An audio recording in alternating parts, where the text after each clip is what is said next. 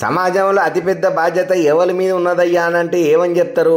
Police department అని అంటారు. రాజ్యాంగం కూడా వాళ్ళకి అంత పెద్ద పీట వేసింది. ఎందుకంటే ప్రతి ఒక్క మనిషికి ఏ చిన్న సమస్య వచ్చినా కూడా టకిమని పోలీస్ టౌన్లకే పోయి కంప్లైంట్ చెప్పుకుంటాడు. ఆయన గోడును వివరించుకుంటాడు. అటువంటిది మంచి చెడు చెప్పే పోలీసే ఆత్మహత్య చేసుకున్నాడు.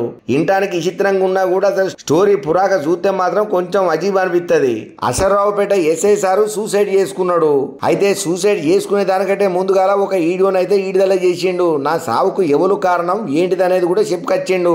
పురుగుల మందు దాగి ఆత్మహత్యకు పాల్పడ్డటువంటి అశ్వరరావుపేట ఎస్ఐ శ్రీరాములు అనే సారు ఆయన మరణ వాంగ్మూలం అయితే బయటకు వచ్చింది సన్యాసి నాయుడు శేఖరు సుమను శివనాగరాజ్ అనే కానిస్టేబుల్లతో పాటు సిఐ కూడా నన్ను బాగా ఏదించిండు.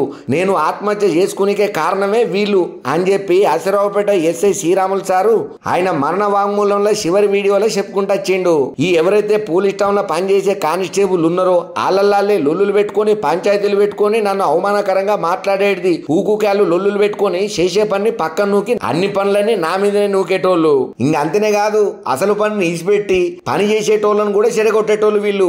ఇంటెలిజెన్స్ కానిస్టేబుల్ అయినటువంటి శరత్ వాళ్ళ తమ్ముడు ఒక ప్రముఖ పేపర్ రిపోర్టర్కు స్టేషన్ల విషయాలన్నీ రహస్యమైన ముచ్చట్లను నిమ్మతంగా చెరవేసేటోడు. స్టేషన్ల జరిగే ప్రతి ఒక్క చిన్న ముచ్చటను కూడా వివరించి చెప్పి పేపర్లలో వేపించుకునేటోడు సిఐసార్కు ఎంత చెప్పినా కూడా నన్నే తిట్టేటోడు తప్ప ఆయన ఏమనేటోడు కాదు. ఉన్నతాధికారులకు కూడా ఈ ముచ్చటను చాలా సార్లు తీసుకుపోయినా కూడా ఎటువంటి లాభం లేకుండా పోయింది. వాళ్ళు కూడా పెద్దగా ఏం రియాక్ట్ కాలేదు.